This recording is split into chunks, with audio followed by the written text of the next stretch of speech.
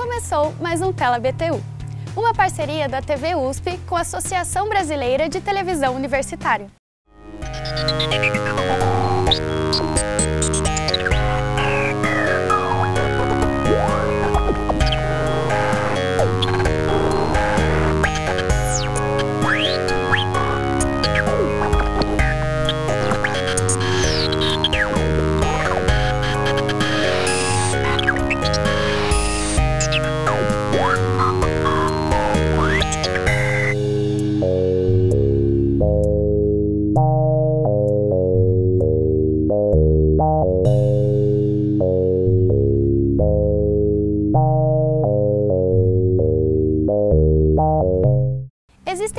Esportes adaptados para pessoas com algum tipo de deficiência. Hoje, no Tela BTU, nós vamos mostrar uma matéria do RTV Unicamp sobre um desses esportes adaptados, o vôlei sentado. Confira!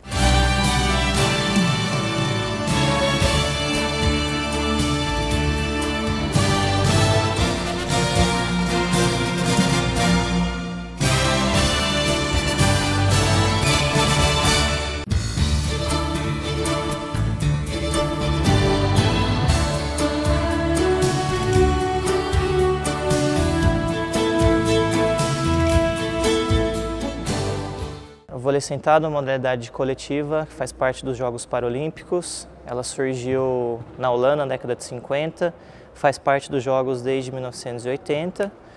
Aqui no Brasil começou desde 2003. Em 2008 teve a primeira participação brasileira em Pequim, onde o Brasil ficou em quinto lugar.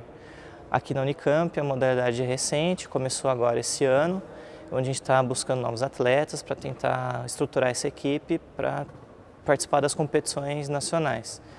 Ela é praticada por pessoas com deficiência física, principalmente amputados, mas pessoas também com uma formação congênita, é, sequela de poliomielite, alguma lesão medular mais baixa podem praticar a modalidade. E a diferença básica dela para o vôlei convencional é a altura da rede, o tamanho da quadra, o saque no vôlei sentado pode ser bloqueado, no convencional não pode, e pelo deslocamento deles a ausência de saltos. Então, e por isso tem a regra que eles têm que sempre estar com com o quadril no chão no contato com a bola. Eu sou o primeiro atleta aqui do vôlei sentado e começou quando eu estava andando aqui pelo campus e o Gustavo Pena, que é o treinador, me parou na rua, perguntou se eu queria treinar. E eu acabei gostando e estou aí já mais de dois meses, quase três meses treinando aqui já. E eu acho que é uma iniciativa muito importante essa da Unicamp, de apoiar esses esportes é, adaptados porque não tem, é, no Brasil como um todo, você não, não tem muito apoio a esse tipo de esporte, né? E para mim, assim, principalmente, é, é um ganho na, na autoestima da pessoa com deficiência, né?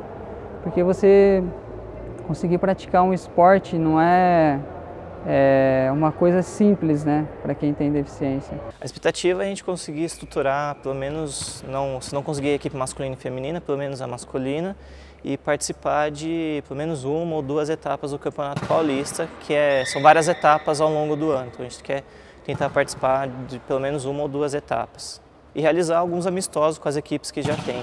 Nunca tinha praticado nenhuma modalidade adaptada assim. Essa foi a primeira. Inclusive eu nunca tinha jogado vôlei antes, né? Essa foi a primeira vez que eu, que eu joguei foi aqui mesmo. Hoje, o vôlei sentado é praticado em nove estados. Tem equipes aqui em São Paulo, em Mogi das Cruzes, em Osasco, Barueri. Rio de Janeiro tem equipe de Niterói. E tem, aí tem equipe no Mato Grosso, no Paraná, tem em vários estados do Brasil. Eu, eu gostei assim da experiência, né? Porque eu já tinha assistido vôlei, mas nunca o adaptado. Eu já tinha assistido o vôlei em pé, né? E assim, eu acompanhava a seleção brasileira de vez em quando e sempre assim, gostei de, de assistir esportes, tudo, mas praticar mesmo não, não praticava.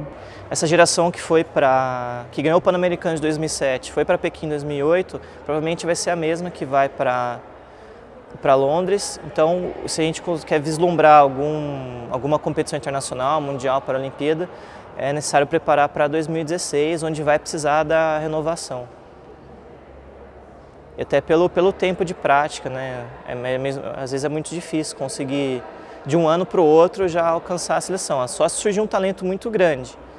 Mas pensando em fornecer mais de dois, três atletas, é um trabalho um pouco mais a longo prazo. Você que está você que está em casa, não sabe, tem uma deficiência física, não sabe o que fazer, venha praticar o vôlei sentado aqui na Faculdade de Educação Física da Unicamp.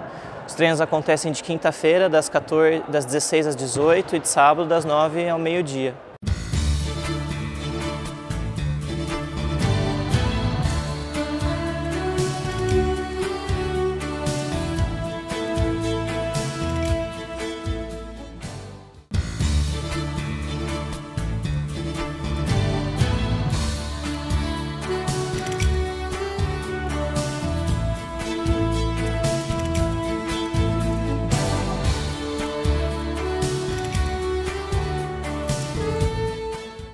ONU quer falar com você. As crianças representam metade de todas as pessoas refugiadas do mundo. Para escapar da violência, elas foram obrigadas a deixar tudo para trás. Tudo, exceto suas esperanças e seus sonhos. Assista agora o Diário de Sonhos, um documentário realizado pela ONU com crianças refugiadas. Confira!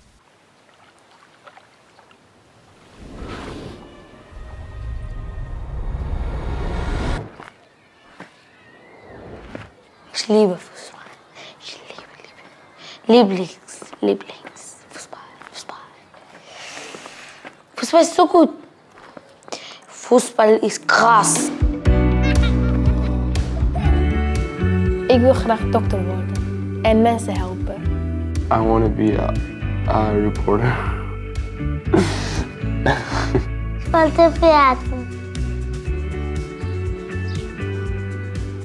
Fotografe. Mon plus grand rêve, c'était d'aller euh, sur la Lune, mais d'aussi toucher les nuages. Ich wünsche mir, ich bin ein bester Fußballspieler sein. Nicht normaler Spieler sein.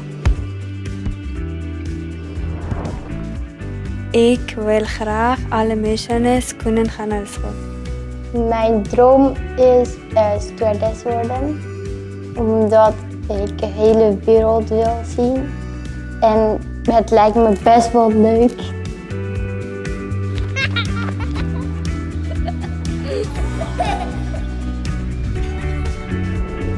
Ich bin Hanna und ich komme aus Syrien. Ich bin sieben Jahre alt. Meine Mama und Papa sind in Syrien, in Damaskus. Ich wollte meinen Eltern nach Deutsch nehmen.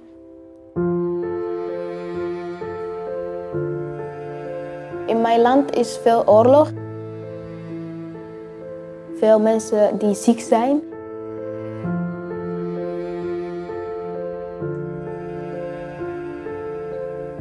Life was good, but the war ended everything.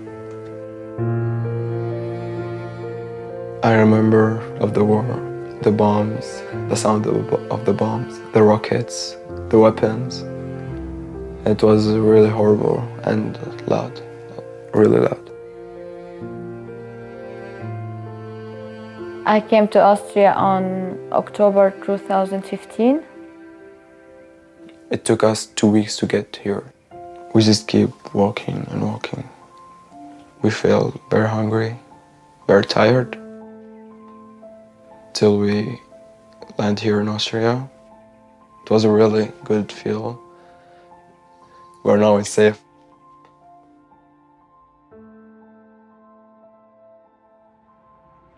Mission Afghanistan kan niet alles zelf dat jongens.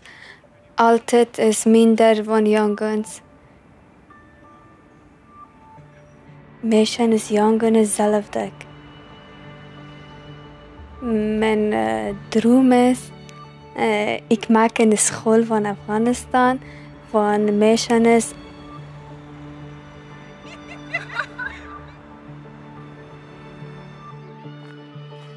Pogba. Pogba ist auch gut, auch schlecht. Ich will auch wie ihn sein. Müssen alle mitspielen, nicht alleine. Weil es zusammen ist, dann ich liebe Fußball. Mimi nonke. be my uncle.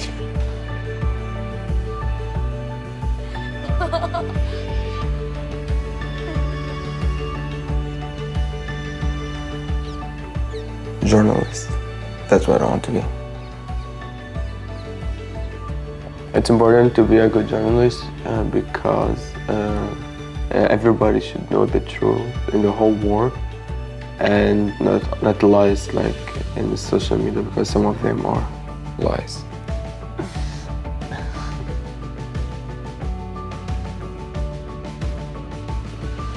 I want to inspire all people who say, oh, I can't go to school. I hate high school. And I want to tell them, hey, you can go through it. You can make it. Peut-être que d'autres personnes aimeraient aussi toucher les nuages. Et moi, ça me ferait plaisir que tout le monde touche les nuages. Avoir des ailes pour voler, comme un ange.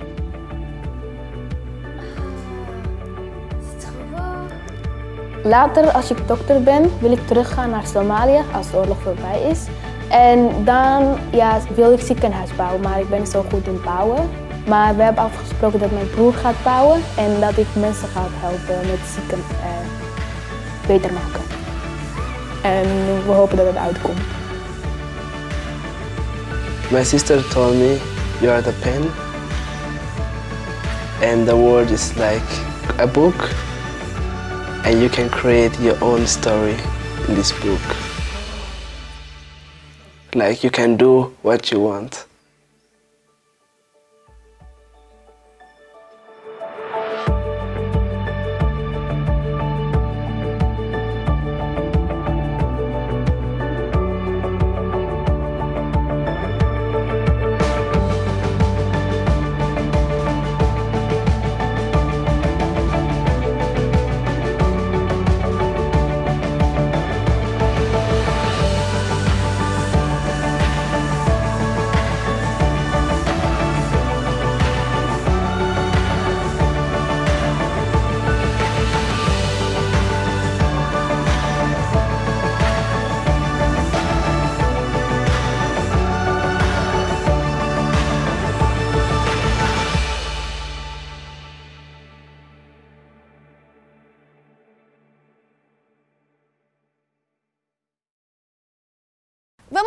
Intervalo. É rapidinho, já voltamos.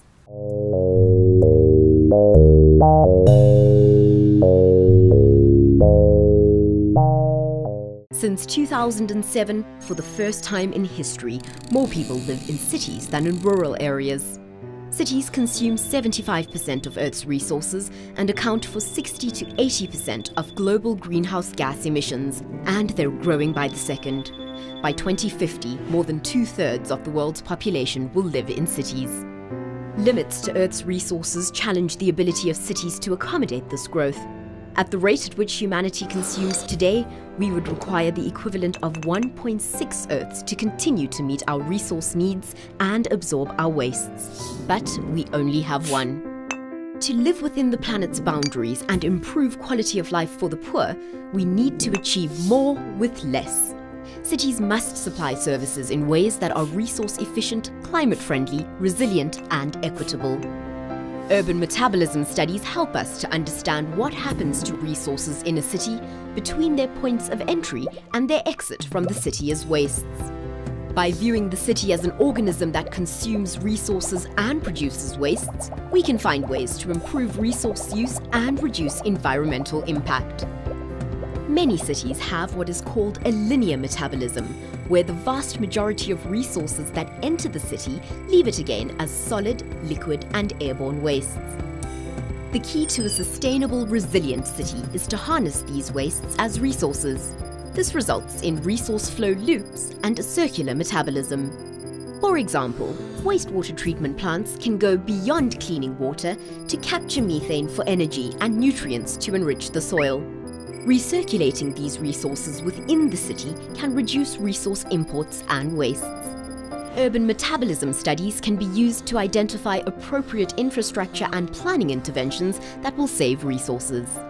This not only saves the city money in the long run, but can also help to reduce emissions of greenhouse gases like CO2 and methane. City stakeholders can lead the way by monitoring their resource use, learning from similar cities, educating decision makers about infrastructure alternatives, and improving resource efficiency in their buildings and operations. To learn how to better manage resources in your city, visit www.resourceefficientcities.org.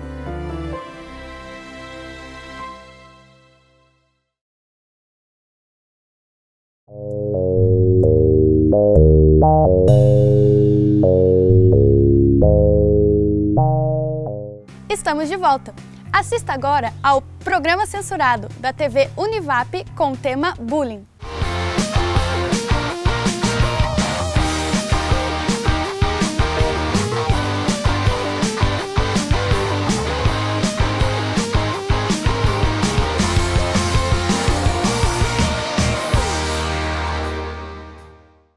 Seja bem-vindo ao novo espaço que a TV Univap abre a você, jovem, adulto, idoso, criança, não importa a idade, para discutirmos assuntos muitas vezes censurados ou que são tabus, ou que você simplesmente tem vergonha ou não sabe com quem conversar ou com quem falar sobre esse assunto. Aqui a gente vai falar sobre tudo, tudinho, sem medo de ser feliz. Em todo o programa a gente tem aqui a participação de uma plateia maravilhosa. Claro, para poder esclarecer as nossas dúvidas e nos ajudar a entender um pouquinho sobre o assunto de hoje, temos aqui a nossa convidada, a doutora, psicóloga comportamental, Letícia Oliveira. Prazer, viu, doutora? Prazer. Que bom você ter vindo, aceito o nosso convite. Nós vamos falar sobre bullying. Você pode Isso. começar dizendo pra gente o que é bullying? É, o bullying é uma palavra importada da língua inglesa que significa, né, nessa tradução, intimidar. Então, significa, é, caracteriza qualquer tipo de agressão física ou moral é, e é intencional que tenha, que tenha o sentido de intimidar a outra pessoa. Então, pode ser individual, pode ser coletivo. É, quando a pessoa se sente intimidada com um apelido, com algum tipo de agressão, a gente caracteriza esse ato como bullying. Entendi. E onde que é mais comum que aconteça o bullying? É, o bullying, na verdade, ele, ele é bem comum nas escolas, né? Onde a criançada coloca apelido, né? Onde os grupos se dividem. É, me dá a sensação que fica muito mais caracterizado na, no, no universo mais infantil do que no universo adulto, onde a gente tem que ser mais político, onde as pessoas tendem a se respeitar um pouco mais do que no universo infantil. E digamos assim, o bullying hoje em dia está sendo muito falado, né, gente? Todo mundo ouve falar do bullying. O que, que é? É uma coisa que já existia há muito tempo e hoje o nome parece que virou moda, Sim. né? Ou se você chamar uma pessoa, ah, que nem ela usa óculos, ah, ela é quatro olhos e tal, isso já é bullying. Que A é? partir do momento que a pessoa se sentir é, lesada, Ofendida, é. ofendida, se sentir excluída né, por essa característica, a gente considera é, como bullying. É, já existia, sim, né, o bullying, e hoje ele foi é, só nomeado. Uhum. Então, o ato de, de bullying já é um ato muito antigo. E hoje ele foi nomeado e caracterizado como né, algo errado, algo que, que traz uma consequência. Entendi. E o bullying, qual que é a diferença de bullying de, de moral e ou pode partir para agressão também? Hum. É, Tem- o, o bullying moral, o, o bullying é, verbal é esse, né? De apelidos, é, quatro olhos, é, rolha de poço, né? Pra quem é né, acima do Mais- mais peso. gordinho, mais mais gordinho. É, e, e aí o, o- o físico é já bater, dar tapa. é, então, assim, co- e- os dois tipos são bem ruins, né? A gente não pode dizer que tem uma, uma, uma pior diferença. é, só que caracteriza quando a pessoa se sente lesada por- pelo ato, né? Então, quando a pessoa faz parte da brincadeira, ela é, não liga ou não se importa pro apelido, tá ali, também chama outra pessoa de, do mesmo, de outro apelido. Então, a gente não tá vendo algum tipo de consequência para a pessoa ou exclusão. Entendi. E nas escolas, que você falou que é mais comum acontecer, Sim. né? Geralmente é mesmo. É, quando acontece o bullying, geralmente o, a, a vítima, né? A pessoa que sofre, ela não conta, Uhum. ela não fala nada pra ninguém e tal. Como que a gente identifica essa pessoa? Como que a gente vai saber que ela tá passando por isso? Tem como saber? Tem. É, a pessoa, a gente pode ver assim, a pessoa não querer ir para a escola, não querer frequentar a escola, ficar muito excluída. É, e tem que ser um olhar muito da, da- da, própria escola e dos pais, né? É, a, a criança não quer mais ir para a escola, ela fica mal, ela, ela fica mais quieta, ela fica no canto dela. Então a gente começa a ver algumas consequências é, que a gente né, pode observar que está tendo algum tipo de comportamento fora do padrão. Viu só, mães aí, olha, tá vendo? Percebeu o filho aí. Aconteceu um fato com meu irmão, né? Próximo, mais próximo que eu tenho foi ele. Ele queria muito fazer inglês, queria muito fazer inglês. Minha mãe pôs ele numa certa escola de inglês. E o professor brincou com ele, né? Falou assim, nossa, não sabe nem português, vai saber falar inglês, que burrice. Sabe? Brincou, ele se sentiu mal. Entendeu? Uhum. E com isso, o que aconteceu? Minha mãe começou a brigar com ele, falando, por que, que você não quer ir pra aula? Uhum. Imagina, tô lá pagando, por que, que você não vai? Né? Então, a mãe, o pai, alguém tem que prestar atenção, ver o que está acontecendo com o filho, né? Mas é, é, é por E é aí, importante, né? assim, que não vem só de pessoas da mesma idade ou de crianças. Aí, Como parte- você disse, pode vir mesmo de professor, de, um- de uma pessoa adulta, né? E a, e a criança ou adolescente se sentir humilhado. Então, é importante falar, né? Muitas pessoas não falam, na verdade, porque... é, a pessoa que sofre bullying, na maior parte das vezes, não é a pessoa que, que se tem um contato social legal, é a pessoa mais tímida, mais retraída. E aí ela já tem uma dificuldade e ela tem um receio de falar e, e sair pior ainda a situação. Então ela prefere se calar. É, então é, é- o que é indicado é procure sim, fale, é, Converse, converse, esclareça para essa situação ser modificada. Então, olha só, aqui a gente está para isso, para conversar sobre todos os assuntos. Então, se você tem vergonha, não sabe como falar sobre o assunto, é só conversar aqui com a gente, tá? A gente vai para o intervalo e volta já já, não sai daí.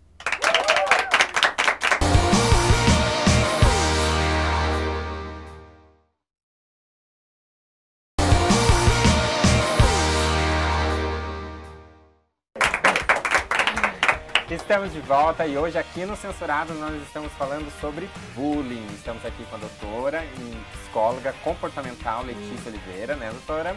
Tem aqui a nossa plateia maravilhosa, galera. São os nossos convidados especiais de hoje, né? É, tem pergunta aqui? Quem quer fazer pergunta? Aqui. Vamos lá. Nome e a sua pergunta, por favor.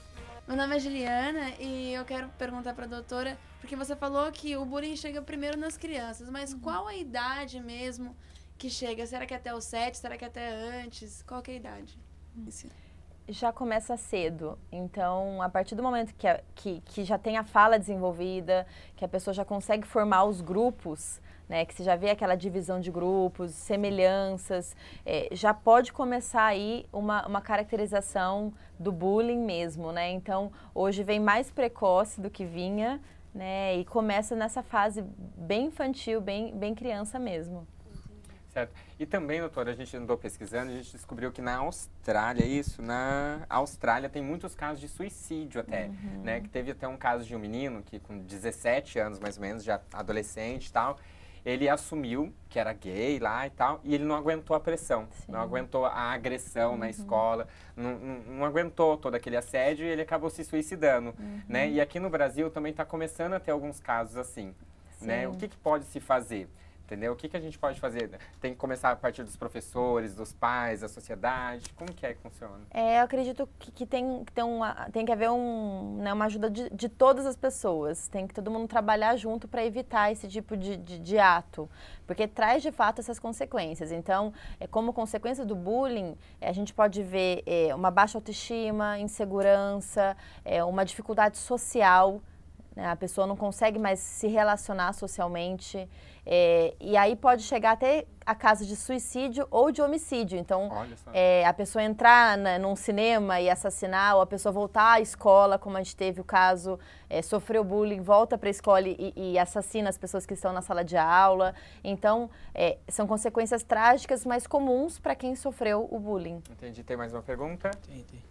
Meu nome é Gabriel e eu queria saber como que a sociedade pode intervir nos casos de bullying para reverter a situação, para que não se a, causar homicídios, essas coisas. Que tenha que ver- haver um- um- uma ajuda de todos. Então, os pais precisam perceber modificações sutis no comportamento da criança ou do adolescente, é, porque acompanhar de perto, por que, que não está indo para a escola, é, co- como que é o grupo de amigos, como que funciona essa estrutura escolar. Já a escola precisa ter uma percepção mais aguçada, né? Se É, caso a, escola descobrir que alguém está passando por isso, é porque que tá tomar até um projeto de lei dizendo que, que para penalizar né, a pessoa que, que faz o bullying, o, o autor do bullying, Uhum. mas eu vejo que assim, vai acabar, é, a gente vai, vai mexer na consequência, mas não na causa. Então eu acredito que a gente pode prevenir né, e penalizar como uma opção e não como a única solução. Entendi. Tá aí a dica, hein, pessoal? Olha só. Agora a gente vai assistir um depoimento de pessoas reais, de histórias reais sobre bullying. Vamos ver?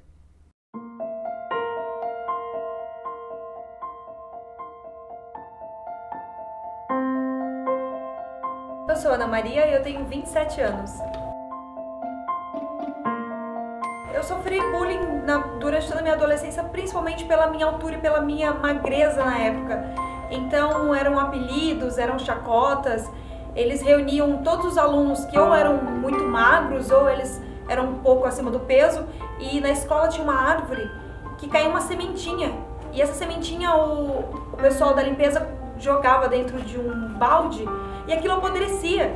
E eles obrigavam a gente a comer aquilo, ou comia aquilo, ou eles batiam na gente, mas tudo isso eles determinavam quem era feio, quem era magro, quem era gordo, e assim, era onde a gente, por três anos, a gente passou por isso. É, eles batiam, batiam mesmo, assim, de, de murro, de levar soco em inglês pra escola, de esmurrar. É, eles aprenderam na época que se pegasse uma toalha molhada e batesse na gente dentro do vestiário, a gente não ia ficar marcado. Então foi onde foram três anos de agressão mesmo. Então a gente chegava machucado em casa, que foi onde eu fui obrigada a contar para os meus pais o que estava acontecendo. Não tinha, não, não tinha como eu me vingar, de, porque eram várias pessoas, né? Na última vez, é, eu apanhei com, uma, com a mangueira de incêndio que ficava na escola. Eles sem acertaram a mangueira em mim, que foi onde a minha mãe descobriu. E mas o que, que aconteceu a partir daquele momento? Tudo foi resolvido, mas eu comecei a praticar o bullying nas pessoas, porque eu queria me vingar de alguma forma por todos os anos, por tudo aquilo que tinham feito comigo, eu queria fazer com as outras pessoas também, mas nunca relacionado à agressividade. Mas também teve quando minha mãe descobriu que eu estava fazendo isso, que aí foi onde ela me corrigiu severamente e foi onde a vida me ensinou também que não é assim que, que a gente supera aquilo que já aconteceu com a gente. Bullying não é brincadeira. Viu só, gente? Até pessoas que a gente nem imagina, às vezes a pessoa que está do seu lado, dentro da sua casa, a gente nem pode imaginar que sofreu bullying.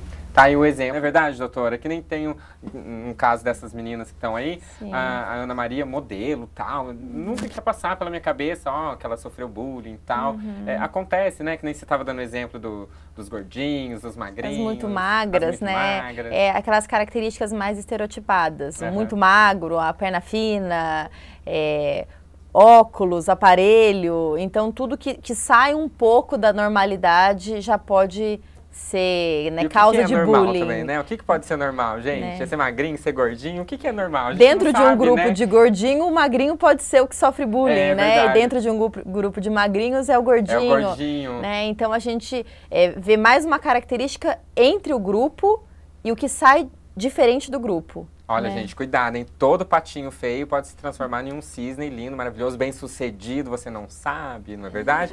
Tem mais uma pergunta aí? Bom, meu nome é Alex. Eu queria saber quais são as motivações dos praticantes de bullying. O que, que eles Uhum. ganham com isso? Tá, tá certo. É, a gente vê muita característica é, na personalidade da, dessa, da pessoa que faz o bullying, é, uma, uma tendência a uma, uma fobia social, né, um comportamento antissocial, ela não tem empatia pela outra pessoa. Então ela não consegue se colocar muito no, no papel da outra pessoa. Quando a gente sente aquela, aquela dor, aquela pena, não é o que ela sente. E ela quer sempre se destacar, ela quer estar sempre é, em, em exposição, as pessoas admirando ela. Isso é Ela importante. quer ser o centro Ela é o centro das atenções com a graça, com a piada. E ela não, não sente empatia pela outra pessoa que ela está né, fazendo o bullying. Então a gente vê, talvez, muito, muito provavelmente, um exemplo familiar né, de alguém que faça isso com ela perto dela, uma violência é, verbal, física. São pessoas com mais tendência a repetir esse comportamento na Nossa, escola. Então em casa também acontece Sim, muito. né? Os pais tratarem dessa forma, os pais é, criticarem, humilharem. Você não vale nada. Isso, né? coisas. Você é um burro. Olha. E a pessoa repete, aprende e pode acabar repetindo isso na vida dela. Olha só, tá vendo, pais? Prestem atenção aí, hein, meus filhos. Gente, tá acabando o programa, espero que vocês tenham gostado. Ah. Doutora, você quer deixar algum contato, por favor? É, é, eu vou deixar o meu site, o, o telefone do meu consultório. É, é www.leticiadeoliveira.com.br Legal. E o telefone é 12 3018 7434. Tá vendo, pessoal? Então, se vocês quiserem tirar mais dúvidas, né, ou fazer um atendimento, quiser conhecer a, pessoa, a doutora de perto, tá aí o, o, os contatos dela, tá certo? Obrigado ao pessoal aqui que veio participar. Ei, obrigado todos vocês. Espero que vocês aí de casa tenham gostado do nosso programa. Muito bom, né? E olha, lembre-se, nenhum de nós pode mudar o passado, mas todos nós podemos mudar o futuro. Bullying não é brincadeira. Espero que vocês tenham gostado. Até o próximo. Tchau, tchau. Tchau, vamos lá.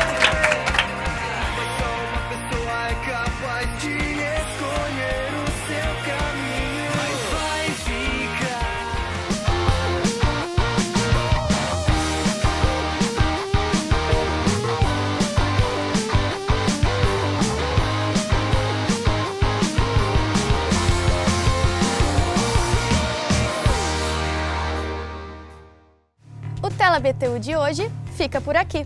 Você curtiu a nossa seleção de programas? Então deixe seu comentário. Suas dúvidas, críticas e sugestões são sempre bem-vindas. Não se esqueça de se inscrever no canal, curtir o vídeo, compartilhar e de nos seguir nas redes sociais. Até a próxima. Tchau!